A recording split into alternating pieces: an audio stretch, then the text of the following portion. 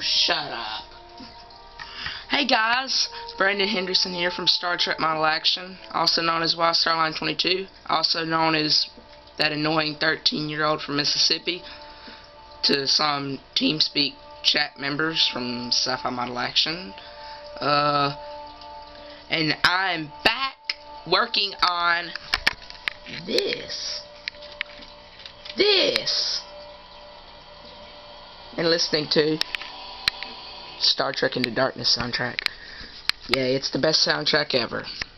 Um, so yeah, as you can see, the workbench is kind of in a mess because I have been working on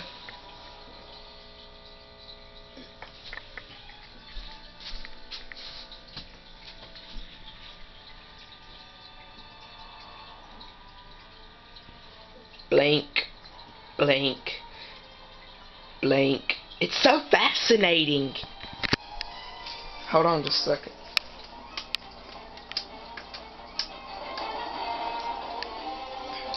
Um, yeah, been working on that. It's taken me almost three days to get all of those little blinkies going in there, and oh my gosh, can't stand this soundtrack. Hold on just a second, guys.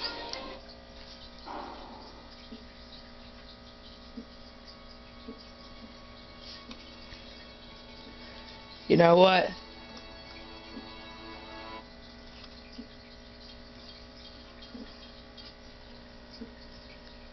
There we go. Uh, change. There we go.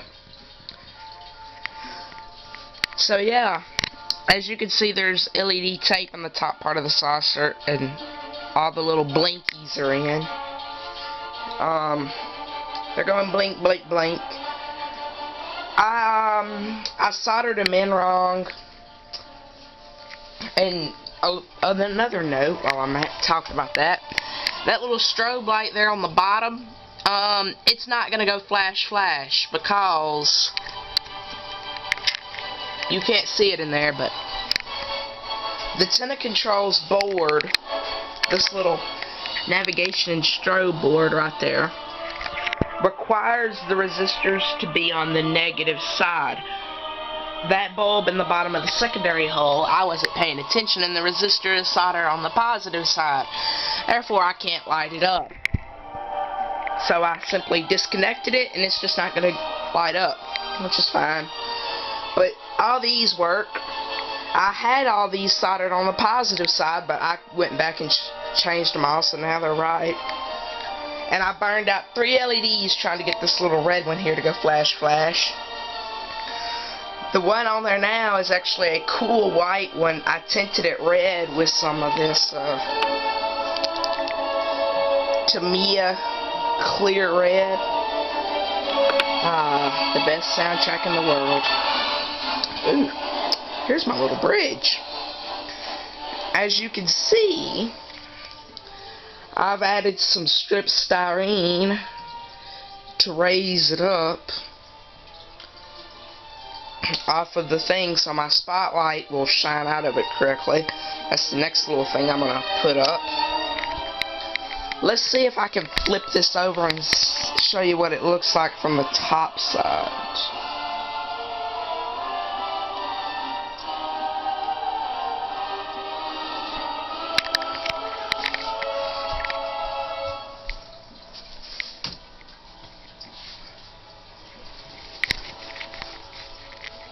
As you can see, they all look nice and in scale.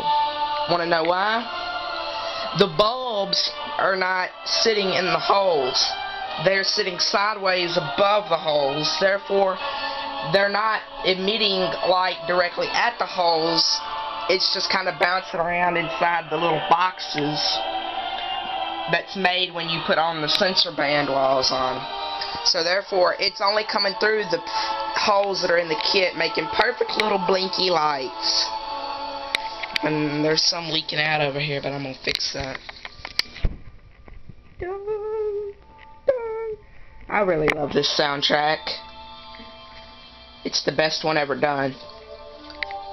As you can see, kind of chasing a rabbit here, but our little Lexington is doing just fine.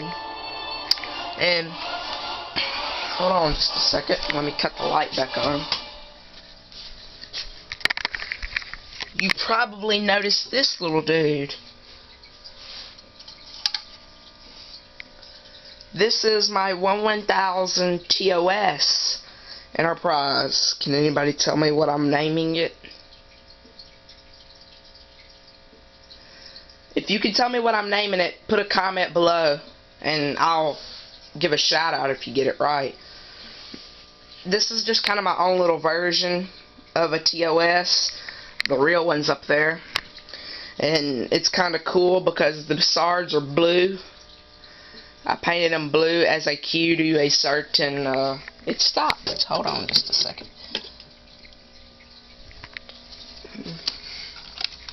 Let's see here. Actually, it's, it's, uh,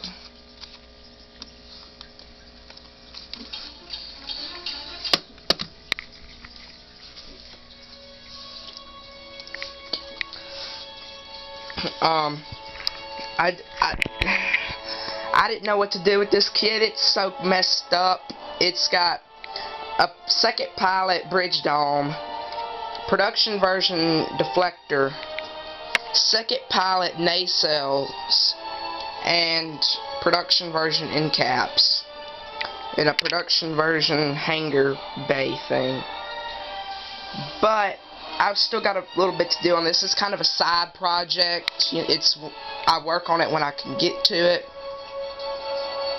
Um, but it's it's being a fun little project, I guess, if you want to call it that. Let's set it back down. Let's see, what else do I need to talk about on this model? Uh, oh,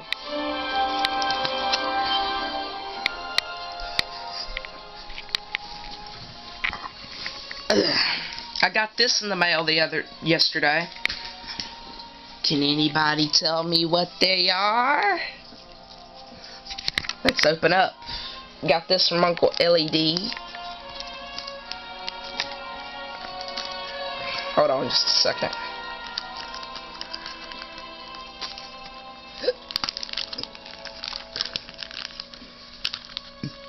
Hold on just a second. I'm going to put the camera down get these out.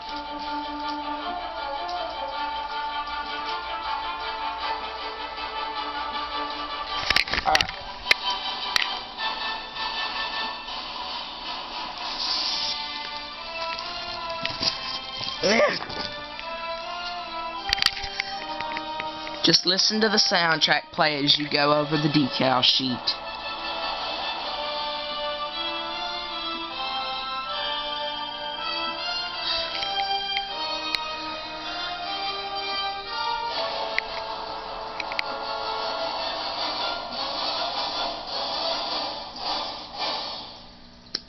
Okay, now the soundtrack's done. I got these from Uncle LED. They're my Lexington decals. And one thing you're probably wondering are is, what are these big things right here? Well, I wanted to do something different on this build. And I came up with the lovely idea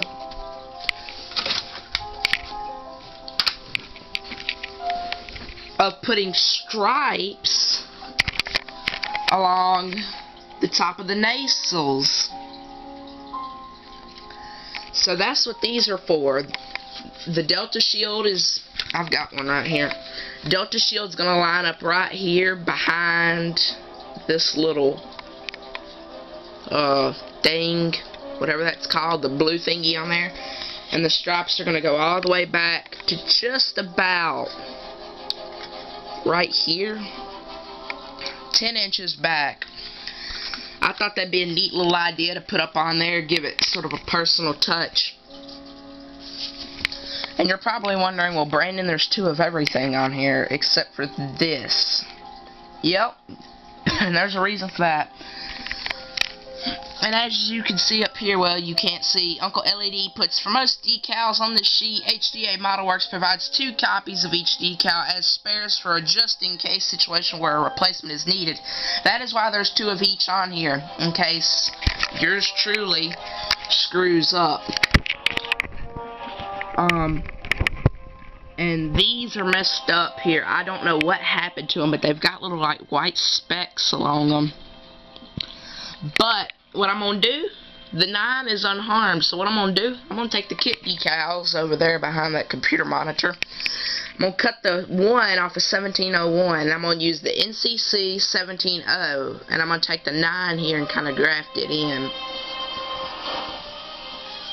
And, um, I'm going to make that look nice, but don't these look good? The detail on these are amazing. They look exactly like the kit ones, except the kit ones say Enterprise and not Lexington. Um, let's see, it says on here what they're printed at. 9,600 DPI these things are printed at, so they are pretty detailed. They're about the best detail you're going to get for a home printer you want to go any higher in detail, well, you're going to have to go get an Alps printer. You're going to have to go get kit decals because this is just as about as good as you can get with here. And I don't like this soundtrack. It is so sad. I don't know why.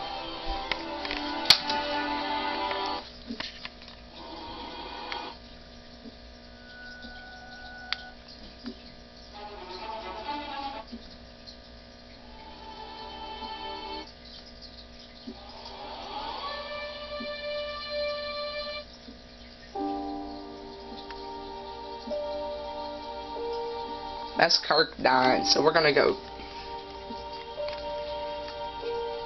one before it. Alright, back to the decals. As you can see, like I said, they're very well done. We've got our airlock markings here, the pennants for the side of the secondary hull over there.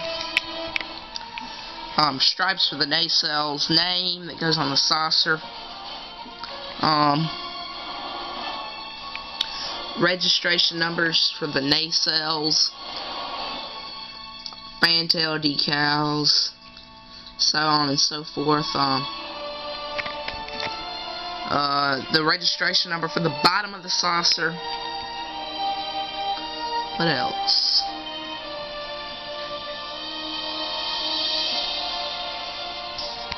Wait a minute. One, two, three, four, five, six, seven, eight. Eight ver- There's three versions of the pennants.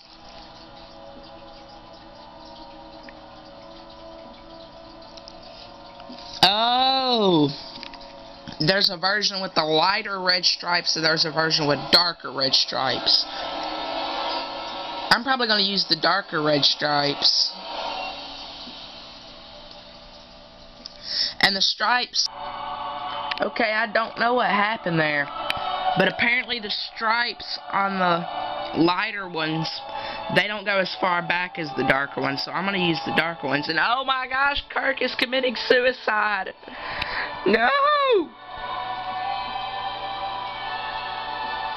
And poof, the warp core comes back online and the ship is saved.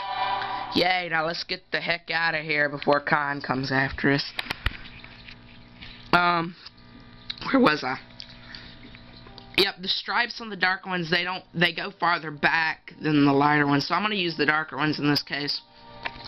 Um,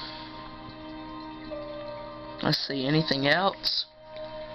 I'm going to put these back in their little protective baggie.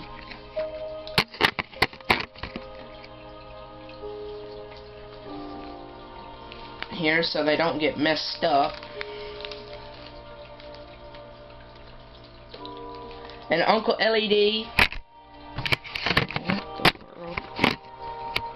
Here, I'll sit you on top of the saucer. Uncle LED, I express my greatest gratitude for these decals. And I I, I, not just the decals, I express my greatest gratitude for everything you've done on this refit.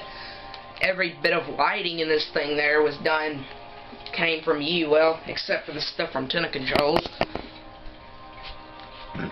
Without you and Ralph at Tenna Controls, Uncle LED, this refit would have not have been possible. Just want you to know that. Um,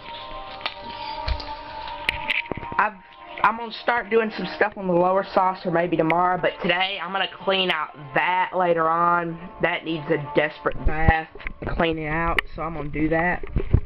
So I'm gonna close out there by letting you get a nice in dark look at the blinkies going blink blink and listening to the Kirk death music from Star Trek Into Darkness and it's too sad so we're going to close out letting you listening to the uh, end. So, yep guys.